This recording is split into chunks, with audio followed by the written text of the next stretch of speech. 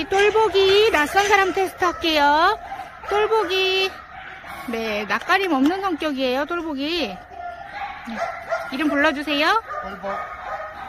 네. 전신 터치 받아줍니다. 네. 좋아합니다. 또내 쿠션 차고서 reverse sneezing 하는데 터치 전신도 받아주죠. 터치 자체를 워낙 좋아해요. 자기 만져주고 관심 가지는 거를. 아이고, 좋아합니다. 문제 없어요.